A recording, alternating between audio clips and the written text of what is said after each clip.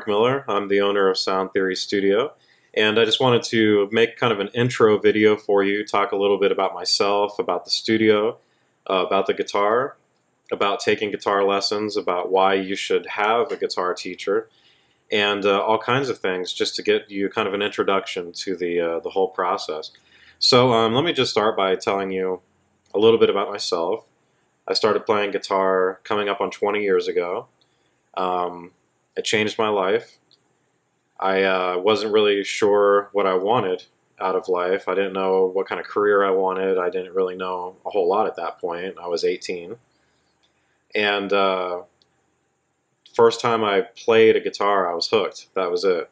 I loved it. I loved how it sounded. I loved how it was a challenge, but it wasn't impossible. And I wasn't sure that I could do it. But I found that, you know, there's a lot of songs that are actually pretty easy for a beginner. And so I learned a few things, and the next thing you know, I'm playing all day, every day, it seemed like. And uh, it's probably the best decision I ever made in my life was to learn to play guitar. And uh, there's a lot of people out there that can tell you the same thing. And there, there's a reason for that. The guitar, it's really the best instrument in the world. It's beautiful. It sounds beautiful. It's a lot of fun to play. It's very expressive. And uh, one thing you might have heard in the past is, is, and if you if you know any guitar players, or if you're a guitar player yourself and you have been playing for a while, one thing that uh, that you've come across, I'm sure, is the way that guitarists think of their guitars. I mean, this isn't just a piece of wood with metal strings on it. This is like a friend to people who play guitar. Um, you may have heard the story of B.B. King running into a bar that's on fire to get his guitar. And, uh, you know, to someone who doesn't play, that might sound kind of ridiculous, but you come to realize after you play for a while that this this becomes a part of you, and it's uh, it means so much to you and becomes so important in your life that that's that that gets to the point where you feel that way about it. And it's it's probably the most positive, creative hobby you could take on. Um, I mean, you know, I have a lot of hobbies other than guitar, but there's nothing I'm nearly as passionate about as guitar. I mean, I'm not going to run into a burning building to save my PlayStation 4, right? But if my guitar's in a burning building, I might. And that tells you a lot about just how much people care about music once they get involved in it and how much it starts to mean to them. And if you've played guitar for a while, you probably know what I'm talking about. If you're new to guitar, well, then uh, you'll find out if you start playing. And uh, you'll likely fall in love with it, and uh, it'll become a big part of your life. So learning to play guitar is a lot of fun. I highly recommend it. It's a, it's a great way to spend your time. It's very constructive and positive, and uh, it'll be a decision that you'll, you'll uh, be happy that you made, uh, likely for the rest of your life. It's, it's, that's what's really great about it. It's not something you do for a year or two and then you're done it's something you do your whole life, and it always brings you enjoyment from this day until your last day. Uh, one of the great things about playing music. So um, that's a little bit about the guitar. Now, about me, I've been playing guitar for coming up on 20 years now. I started when I was 18, and I'm uh, 37 now. And uh, it certainly changed my life. I remember the first time I played a guitar, I was a freshman in college, and uh, just fell in love with it instantly. I mean, the, the first time someone showed me how to play a note, just. And then a chord. I just thought that was the most beautiful sound. And it wasn't as hard as I thought it would be. I convinced myself that I, I, I always liked guitar, but I didn't think I could do it. I had kind of convinced myself that this is something that, you know, gifted people do and, and people who are naturally musical and you have to start when you're a kid and things like that. So I never really got around to trying it, but when I was in college, there was a guy who had a guitar, and, and I got to try it, and I fell in love with it instantly, and I never looked back. I started playing for hours every day, and uh, greatest decision I ever made was to take on the guitar. Um, and that's one thing I'd like to talk to you about too, is that there's a lot of myths about playing guitar that I'd like to uh, to get out of your mind now. and they're popular myths, and, and in some cases, I don't know where they came from, but they seem to be widespread, and a lot of people believe them. And probably the biggest one, and I hear it all the time, is that you have to start when you're young or you can't do it. And that's just simply not true. Not true at all. I mean, there are there is some truth in the fact that you know if you the younger you start, the more time you have to get better and better at it. I suppose that's true. That's just logical. But it certainly doesn't mean that someone who's older can't play. I mean, it's great to start as a kid, and if, if you're thinking about getting your child lessons, it's a great idea, and uh, you know it really can form a path in their life that'll be really, really positive. But even if you're, you know, 50s, 60s, you know, even 70s, I mean, there's really no age limit on this at all. Yes, it takes a lifetime to master the guitar, but one of the nice things about the guitar is it's one of the easiest instruments to learn.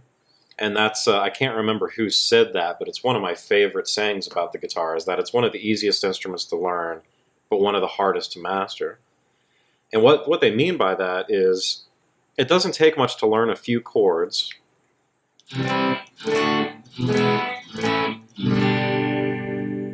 You just memorize the shapes and, and take a little time getting you know good at playing them. Take a couple of weeks, maybe a month, not very much time. But as soon as you get just a few basic chords down, you can start playing all kinds of songs. And uh, that's the beautiful thing about guitar is that it doesn't take long at all to get into it. Just a few weeks, really, and you're playing songs and uh, you're having a great time, and you can you know go to the you know in front of the campfire and strum a few songs and play with your friends. If you have any guitar player friends, you can start playing with them. It doesn't take long, uh, so it's one of the easiest instruments to get into. But what's cool is that it's since it's one of the hardest to master. That may sound intimidating, but it's actually a really good thing because what it means is you can jump in easily and get right get started right away but then you have a lifetime of challenge ahead of you and entertainment. And it's it's not the kind of challenge that is a bad thing. It's the kind of challenge that's a good thing. It's the kind of challenge that keeps you motivated and keeps you interested and it never gets old. It's always something new to learn. There's always something new to master, a new technique, another song to learn, uh, learn more about music theory. It never ends, and and that's a good thing. I try to explain it to people like you know, imagine the best book you've ever read or the best movie you've ever seen, and it never ends.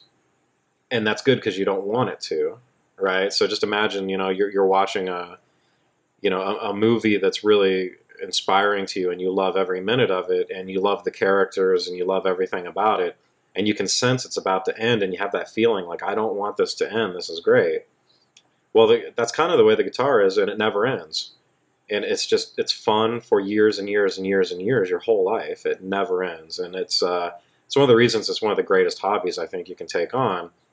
Because you know a lot of hobbies you do, you do for two or three years, and you might get kind of sick of it and you move on, or you've kind of done all there is to do. But the nice thing about music is it really is a never-ending journey, and it's not about the end of the journey. It's not about the goal. It it really is about the journey and how much fun the journey is and you're always being rewarded because you're always getting better from day to day, week to week, month to month. Your progress is is right in front of you, and it's clear to see, so long as you practice consistently. And you're always getting better and always getting better, and that motivates you to keep practicing and to keep getting better, and then that motivates you to keep practicing and keep getting better. And uh, it's it's just it's a lot of great fun, and uh, it's it's it's a wonderful hobby. Can't really stress that enough. Um, so I started at 18 and then uh, finally decided I wanted a formal education in music, and uh, my education is from Berklee College of Music, and um, that was those classes were a great experience, and uh, I learned an awful lot about music. And one thing I think that you should, you know, if you're if you're looking for a guitar teacher, it's really important that you find someone that has that formal education. Um, there's a lot of guitar players out there that teach, and uh, you know, I'm not going to take anything away from them. They, they might be great teachers and, and, and great guitarists, but there's something to be said for that formal education. It's it's a structured routine that you're put through, and it makes you so much better, and it makes you understand music so much better. And uh, I really think it's important that any teacher has at least some sort of formal education. And it's something that you should keep an eye out for when you're choosing a teacher. And like I said, mine comes from Berklee College of Music. Great experience, learned a lot, made me a vastly better teacher going through those classes. Um, another thing I'd like to say about looking for a guitar teacher and finding the right one is a lot of people, I think, look for someone who's a great guitarist, which is fine. You do want your teacher to be a great guitarist. But that's not the end all be all of being a good teacher, right? Just because someone's good at guitar doesn't mean they're a good teacher at all. They could be a terrible teacher, but an amazing guitar player. And uh, that's something you really need to watch out for. Is uh, you want to you want a teacher who's a good teacher. At the end of the day, that's very important. And of course, they need to be really skilled at their instrument as well, so they know what they're talking about. But being a good teacher is a huge deal. And uh, that's part of the reason why I'm made, making this video, and I've made other videos that you can view on the website for free, uh, sample lessons and things like that, because I would like for you to be able to watch my lessons, uh, learn a few things from me online, and uh, just kind of see my teaching style, how I talk to people, how I communicate. Um, that should tell you quite a bit about how I teach and regardless of whether you teach, you know, you pick me or any other teacher, you should be uh, very particular about how they communicate. Um, there's a lot of teachers I've met out there that were pretty phenomenal guitar players, but not very good teachers. And if you're going to be taking on uh, guitar and taking lessons and learning these concepts that can be pretty challenging and pretty complex, um, you want to learn it from someone who communicates well with you and uh, communicates in a style that you can understand and appreciate.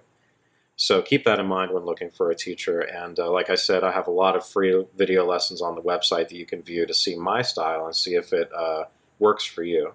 So I highly recommend doing that. Um, now let's talk a little bit about, I'm going to assume now that you are new to guitar or your child is new to guitar and uh, you've never played really. And one thing I get asked a lot is, how do you choose your first guitar? And it's a great question. And uh, you know, what kind of guitar should you get? Uh, how much should you spend? Uh, how much should you expect to spend? So on and so forth. So it's a really good question. One thing I'd like to say, and it's another myth that I'd like to bust, is uh, for some reason, and, and this is another one. I don't know where it started, but people and I've heard this hundreds of times, they think you have to get an acoustic guitar. Everyone starts with an acoustic guitar.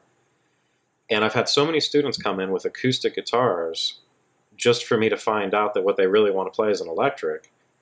And I'll ask them, you know, why did you get an acoustic guitar if your passion is the electric guitar? And, and I've heard it so many times. They say, well, I've always heard you have to start with an acoustic. And I'm not sure where that comes from, but it's widespread. And I'm telling you, it's, it's not the case. Uh, if you want to play acoustic guitar, then yeah, buy an acoustic guitar. But if you want to be a classical musician, buy a classical guitar. If you want to play rock on an electric guitar, you need to buy an electric guitar. Um, so think about, and what I always ask people, if they're not sure what they want to start, is I just, you know, kind of close your eyes and picture yourself on stage someday, playing guitar, sounding great, and ask yourself, you know, what do you see in your hands for a guitar? Is it an electric? Is it an acoustic? What kind of music are you playing in this fantasy? And if what you see is an electric guitar, then go out and buy an electric guitar. If what you see is an acoustic, buy an acoustic. If what you see is a classical guitar, then buy a classical guitar. Um, I don't see any reason to buy an acoustic if you want an electric or vice versa. Um, they're different instruments. The nuts and bolts are kind of the same, and they're played in a similar way, but there are a lot of differences there, and uh, you want to get started on the one that you're most passionate about. Now, there's no there's no harm in learning all three. I mean, that's what I did. I I wanted to be well rounded and and know how to play all three.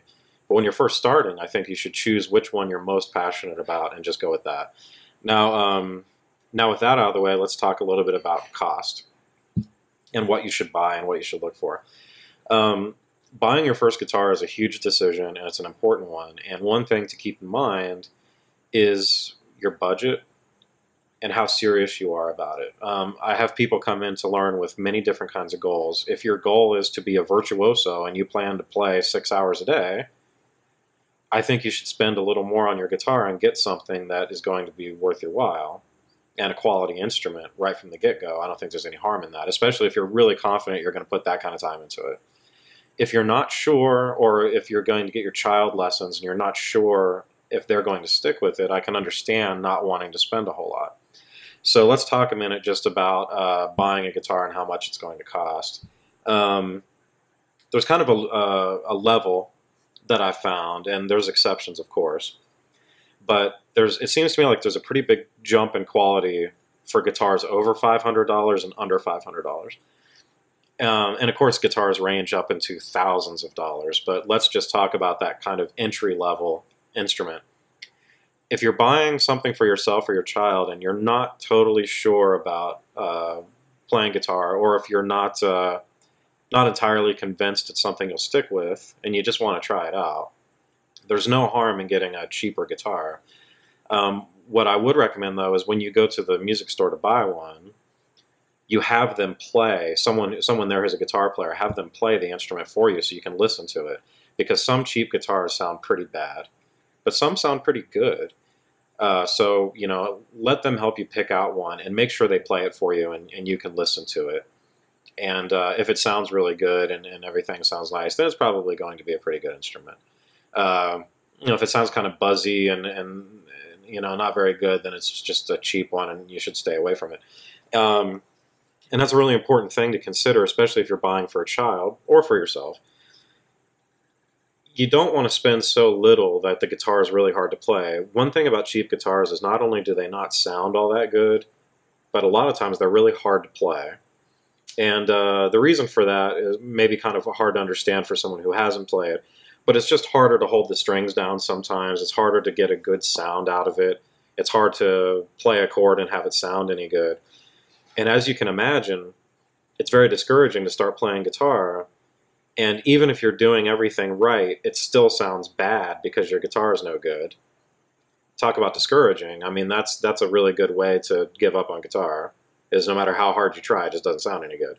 So make sure you're not getting something so cheap and you know old or used and damaged or anything like that that it doesn't sound any good because it really defeats the whole purpose. And how can you learn if it, you never sound good no matter how hard you try, right? Now, on the other hand, there's no reason to spend a ton of money either. So I would look for something in the range of three hundred dollars up to eight or nine hundred if you have that kind of budget. And like I said, there's a pretty big jump in quality around five hundred dollars. So if it's something you're really serious about and you and you really want to get into it, I would go ahead and spend over five hundred and get something quality. The reason for that is because I remember I started on a pretty cheap guitar. And what I ended up doing is as I got better, I would buy a slightly better guitar. So I'd have a guitar at this level, and then I'd spend a little more and get one at this level, and then a little more, and then a little more. I probably went through like 10 different guitars. And in hindsight, I should have just got a nice one to begin with and saved all that money. Uh, because I knew that I loved playing, and I knew that I wasn't going to stop. So all these little increments of good quality guitars I got going up and up and up were kind of a waste of money in hindsight. I should have just got a nice one to begin with. Um, so if you feel that way about it, I would recommend getting something, you know, between five hundred and thousand dollars to start. It'll last you several years. You may eventually decide to upgrade it to something nicer, but it'll last quite a long time. Um, and then if you're if you're not so sure, or if it's for a child and you're not sure about that, it's okay to spend under five hundred. Uh, just make sure that you listen to someone play it and that it's a quality instrument. And uh, you might want to stay away from something used because you never know if there's damage to it if the neck is warped, things like that. It's hard to tell if you don't play guitar. You can't really look at it and see it very clearly. Uh, so anyway, just a few things to keep in mind. Now, as far as picking a guitar amplifier, if you play electric, you need an amp. Now, basically what a guitar amplifier does, it's, it's basically a speaker. You plug the guitar into it and then you can hear it. Without the amp, all you can hear is that you can just kind of hear the dead strings. It doesn't really make any noise, but you plug it into an amp. Now it sounds like your guitar, right? Now the good news about buying an amp is that it's quite cheap. Uh, you you get a practice amp is what they're called a practice amp, and uh, you know you can expect to spend around fifty dollars for one, up to a hundred maybe. Uh, it's not it's not a big investment, and they last for years and they sound really nice. There's no need to get some huge loud amplifier if you're just learning. Uh, that's something you can get down the road when you join a band. But at first, a practice amp is fine. some really good brands out there. Line Six is a good uh, practice amp. Uh, I believe Fender makes a practice amp called the Mustang that I like. Uh, Marshall makes a few. So uh, you can, you know, really you can't go wrong. Just just have someone plug into it at the music store and play through it, and, and you know have them explain the options. Some of them have different effects and things like that. Uh, but yeah, for hundred dollars or less, you can get a practice amp that's not too bad. Um, and a lot of people ask, you know, what's the difference in price between electric and acoustic? Is electric much more expensive? And the answer is not really. It's it's true that you do have to buy an amplifier uh, to go along with the electric, and with an acoustic, you don't have to buy that. However, it's like I said, you're talking fifty dollars for a practice amp, so not much difference in price when all is said and done. Not really. Um, so e either choice is going to be fine. Now, um, let's talk about a little bit about lessons and about the studio. Um, I used to teach at some guitar stores around town. And uh, I've been teaching for a very long time, but Sound Theory Studio is, is young. The, the business itself started early 2014. And uh, but before that, I would teach at some guitar stores. And what I found is there's a lot of nice people there, and they're generally run by good people, and, and it's it's an it's not a bad environment. But what I wasn't satisfied with is the size of the rooms are usually very small for teaching. Um, so small, in fact, that sometimes there was just enough room for me and the student to sit facing each other, and our, our, knees would be touching almost. I mean, that's how small the rooms would be. And in some cases, you'd have you know drum lessons right across the hall, and you couldn't hardly hear yourself trying to talk, and uh, it it just wasn't a good environment to teach in. It wasn't what I was looking for as a teacher at all.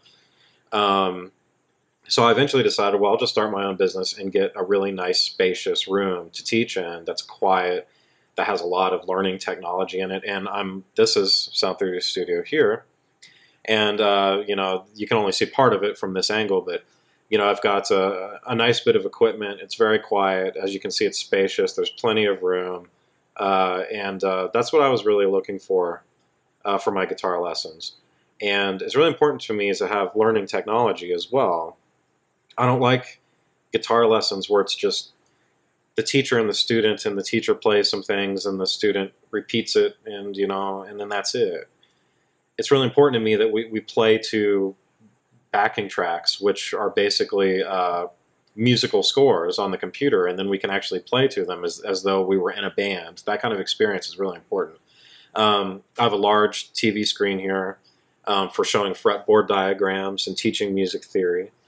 Um, and all this learning technology really comes in handy and it makes the lessons much more in depth. And it's really the kind of thing you can't find uh, at 90 some percent of uh, music stores. They just don't have that kind of room or that kind of equipment.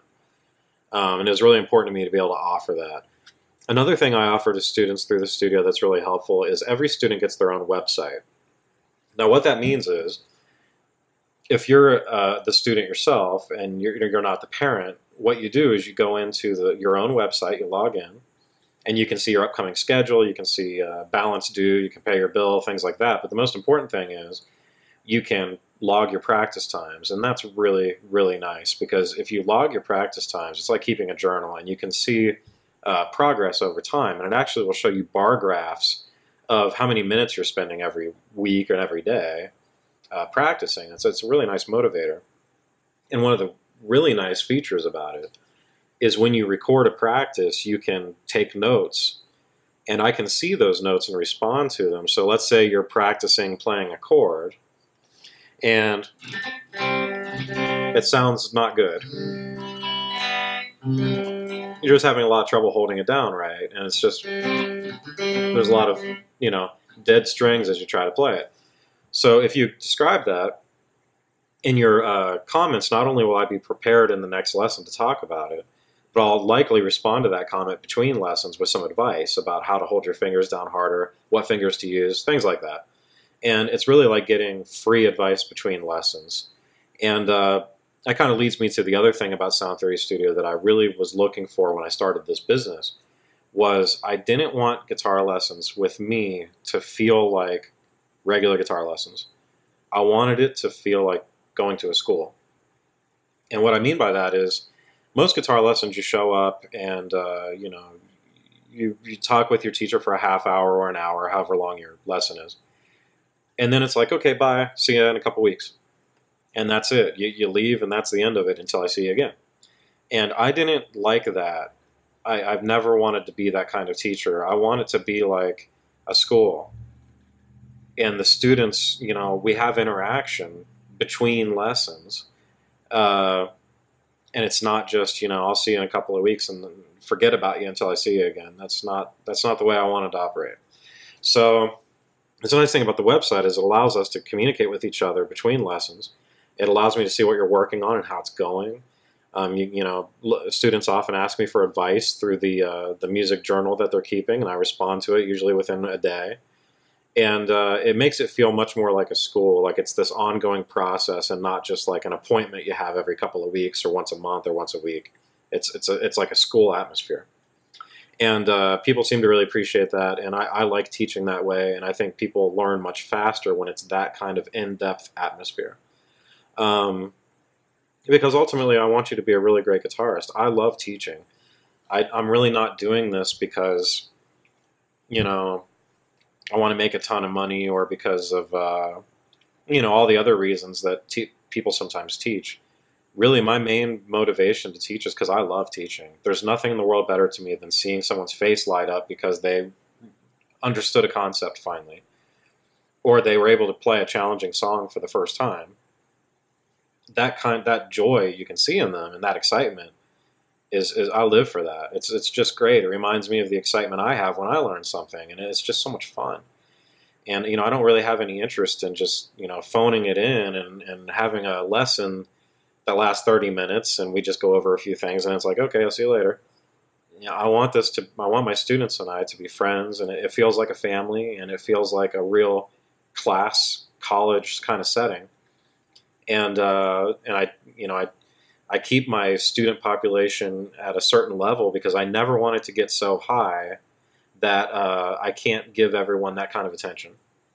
I would much rather have, you know, 30 students and uh, be able to, to have a good relationship with them and, and communicate positively on a regular basis than I would have 100 students and I can't remember their names. That's not for me. That's not the way I want to teach at all. So uh, that's that's kind of my uh, idea behind this business, and it's worked out very well. I enjoy it, and the students seem to really enjoy it, and uh, so far, I've, it's it's been a great experience for everyone involved. I think. Um, now, a little bit about the lessons and how they work. I teach music theory and technique. It's very important to me to teach both. Um, I've met so many guitarists out there that can play flashy riffs and uh, play fast and, and play exciting looking things but they don't know what they're doing.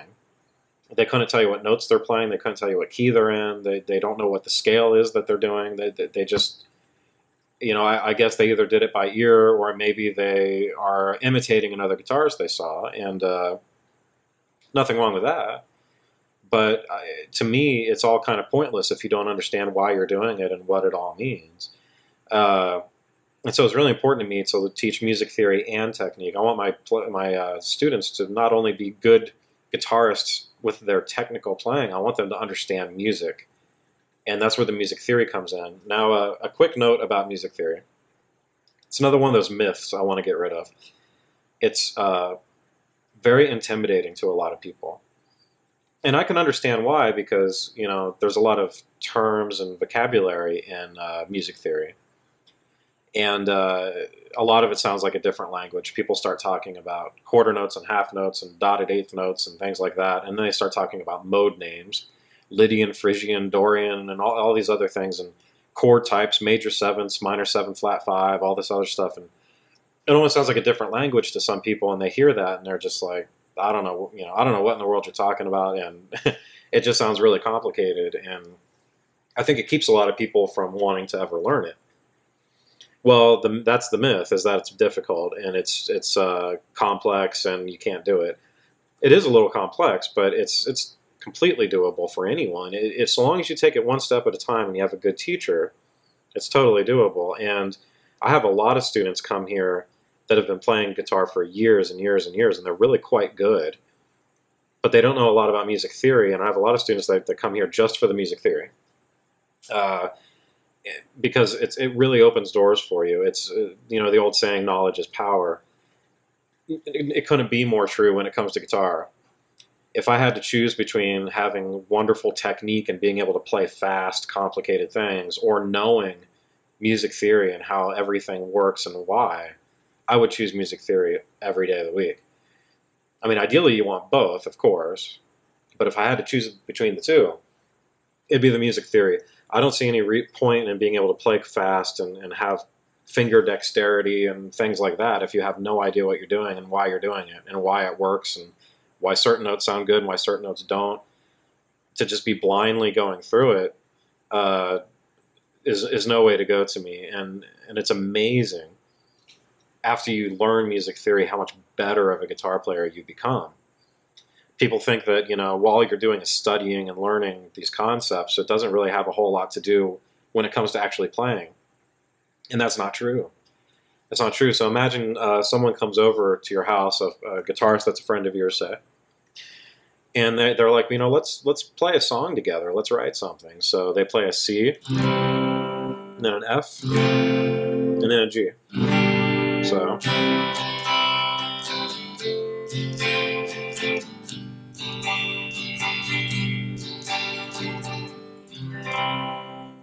Okay, so that's a really simple chord progression, and uh, but they said, you know, why don't you do some melodies over it? Why don't you improvise over it a little bit, see what you come up with? And you kind of look at them, and it's like, wouldn't even have any idea where to start. I mean, a lot of people, what they do in that situation is they just kind of start hitting random notes, and they try to find something that sounds good over those chords. And then after they find a few notes that sound okay, they kind of start using their ear to try to put something together and some people are pretty good at doing that. But what's always been interesting to me is when you're just kind of hunting for good notes using your ear, well, all you're really doing is trying to find a scale that works. So why not just learn the scales and save yourself a whole lot of time, right? So if you can identify that chord progression, C, mm-hmm. F, and G, as being what's called a 1 4 5 chord progression in the key of C, then you know a few options to use to solo over it. One would be C major, right? Or C pentatonic. And there's all kinds of options, actually, all kinds of things you could do over that. But to, to have the knowledge allowed me to go directly to the notes that sound good over that with, with complete confidence that there will not be any bad notes at all because I know the theory and I understand it. And that's a huge, huge deal.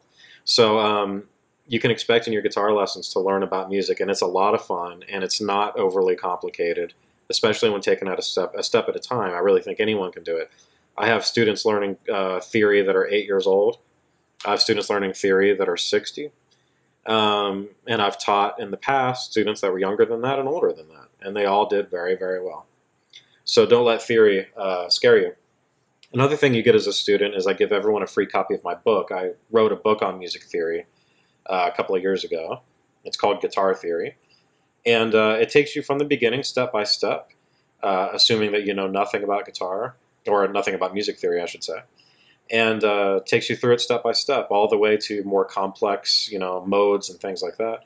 And uh, it's a nice companion to your lessons. I don't teach directly out of the book, but what I, the way I teach is very closely to the book. And so the book is a really nice guide to have at home, you know, to help you with your lessons. Um, and the last thing I'd like to talk about is just setting goals and being prepared to practice. Um, you do want to set, you want to figure out what it is you want out of guitar. Do you want to be a virtuoso? Do you want to be a, a great guitarist? Or do you just want to be able to strum some chords and play some simple songs? Nothing wrong with either, but you think about your goals, think about what you want out of it, and then be prepared to put the time into it. I think all of you could be either uh, someone sitting on the front porch playing some simple songs or a virtuoso. Uh, I think all of you would be capable of that. The only difference between the two is the amount of time you'd have to put into it is very different to be a virtuoso than it is to play some simple songs. So, uh, but you know, you can be a good guitar player all the same, regardless of which one you choose or anywhere in between. Uh, and when it comes to practice, be prepared to practice. Um, ideally, it's nice to practice at least three times a week for an hour each time. Uh, more if you can, but the, you know that three times a week at an hour is pretty good. Some people don't have that much time. Some people have a lot more time. Uh, but you know, if, if, you have a if you don't have much time, that doesn't mean you can't learn guitar. What it means is you need to use the little time you have the best way you can. Make sure your practice is very well spent. And that's another thing that I teach very heavily here is how to practice. It's almost like practicing to practice, because practice is an art form in itself. And a lot of guitar players, I think, waste a lot of time when they practice. Uh, and you need to have a structured practice, knowing exactly what you're doing and the best thing to work on to help you get faster quickly. And uh, to give you a good example, I have a student who's been playing for about a year, uh, t- taking lessons from me for about a year. And after one year, he is as good as I was probably five years in. And the reason is because I tried to teach myself at the beginning and uh, he's taking lessons. And that's the difference. I mean, he shaved four years off of his progress by taking lessons, whereas I took a full five years to get to his level because I was trying to learn on the internet, you know, by talking to other guitarists and getting anything I could out of them during little jam sessions, but it was nothing structured. And uh, if I have any regret, it was that I didn't get lessons sooner and I didn't take it seriously sooner as far as, as learning, as far as the learning goes. I should have taken it much more seriously. Um, but, you know, it all worked out well. And going to Berklee, uh, you know, made all the difference in the world and made up for all that lost time and then some. But, uh, you know, having a teacher is, is really what it's all about.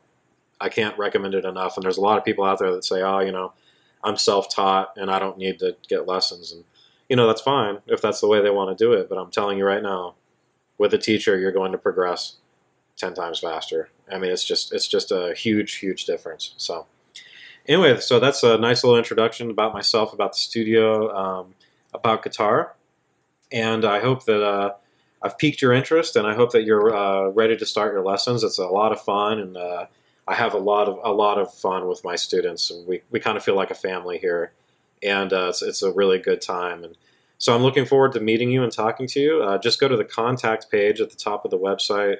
Um, you'll see there that there's a short uh, kind of application to fill out. The application is, is very simple. It's just multiple choice. And it's not a screening tool. I don't uh, pick and choose people by what they say on the application. Its its sole purpose is for me to learn more about you and know where you are as a guitar player, so that I you know know what I can offer you and I know where to start teaching for you. Um, so if you can fill that out, it's much appreciated. It helps quite a bit and uh, makes your lessons more productive for me to have that information. So um, yeah, head to the contact page now. Check out the application. If you have any uh, just general questions for me, the phone number is also on the contact page, and also there's a small form you can use just to send me a general question through email, and I'll get back to you. You know, usually within 24 hours. So thank you very much for your time. I appreciate it, and uh, take care. And I hope to talk to you soon. And um, yeah, can't wait to play guitar with you. It'll be a lot of fun.